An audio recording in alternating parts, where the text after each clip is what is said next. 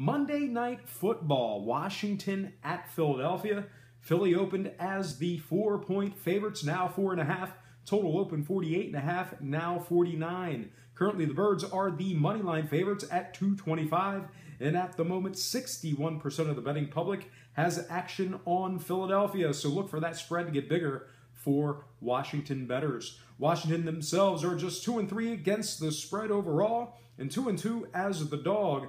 They also failed to cover their last two straight. They have an Eagles ball club who's 4 and 2 against the number overall and 2 and 1 as the favorite. Birds successfully covered over the Skins in the season opener. 13 point outright victory, might I add. Eagles have covered their last three straight over Carolina, Arizona, and the Chargers. They're arguably the best team in the NFC. Scoring wise, Philly's 1 and 1 to the unders and given up just 15 points a game in their last two. Washington games are 1 and 1 to the unders in their previous two before last week's action against the Niners. All told, I like the Birds to win it outright.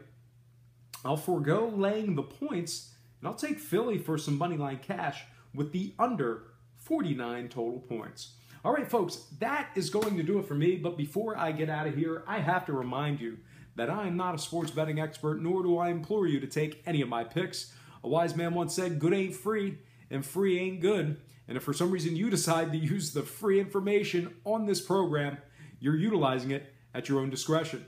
Most importantly, if you're betting any of these games, do it safe, do it responsibly, and most important, have fun. For Brock Page Productions, I'm Brock Page, and have yourself a positive day.